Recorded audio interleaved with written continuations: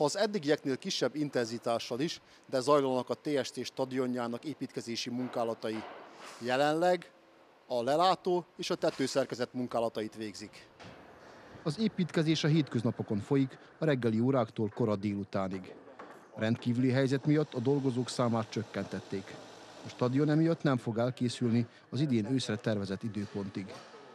Egy kicsit lelassultunk sajnos ez a koronavírus miatt, tehát a beton, beton előállítás az most csak minden nap már délután egy óráig van, például Szabadkánon itt hozzuk a betont, és most elkezdtünk egy kicsit késni a munkálatokkal, és ezért, mivel valahol október-novemberre terveztük az egészet, valószínűleg már nem férünk bele, hogy az idén megcsináljuk, és ezért nem is akarunk ez miatt annyira görcsölni, hanem úgy gondoltuk, hogy, hogy akkor most kitoljuk az egész stadion átadást valamikor a jövő év tavasza vagy nyárára, úgyhogy mindenféleképp a 21-22-es szezont azt már itt szeretnénk kezdeni.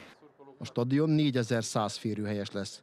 Nem csak a focisták és a szurkolók igényét elégíti majd ki, hanem számos kiegészítő tartalma is lesz itt lesz egy hotelrész is, lesz egy ö, sportrészleg ö, konditeremmel, squashpályával, alattunk múzeum, ö, felettünk étterem, ö, ö, arról egy spa, ami majd kötődik a most épülő városi medencére, akkor amit a hátunk mögött látunk, ott lesznek a skyboxok, ahol, a, a, ami hétközben is használható, hogyha valaki ilyet bérel. Az év végéig a tervek szerint befejeződik az építkezés. Ezután megkezdődhetnek a belső munkálatok, valamint kialakítják az európai színvonalú gyepszőnyeget, ami alá talajfűtést helyeznek majd el.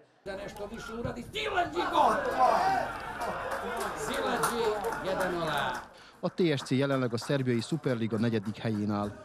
Ha a bajnokságot az eddigi eredmények alapján zárnák le, akkor a topolyai csapat a következő szezonban az Európa Liga selejtezőjében indulhat.